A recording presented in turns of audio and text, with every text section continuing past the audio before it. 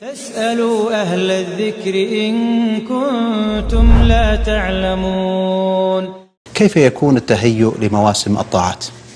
الحمد لله رب العالمين وصلى الله وسلم وبارك على عبده ورسوله نبينا محمد وعلى آله وصحبه ومن اهتدى بهديه إلى يوم الدين.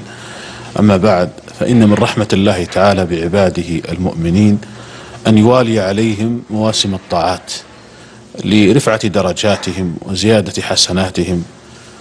آه، ومن ذلك آه، شهر رمضان فهو موسم من مواسم الطاعة.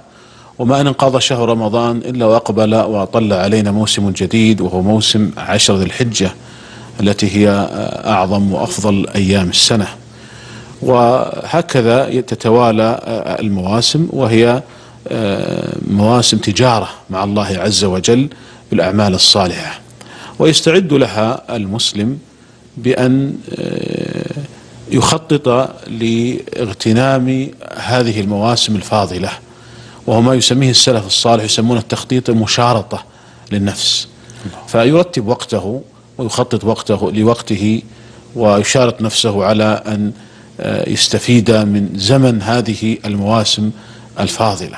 وهذا حتى في في أمور الدنيا تجد أن التجار لهم مواسم يضاعفون فيها من من جهدهم ومن نشاطهم وبغية تحقيق مزيد من الربح. هكذا أيضا في التجارة مع الله عز وجل لها هذه المواسم.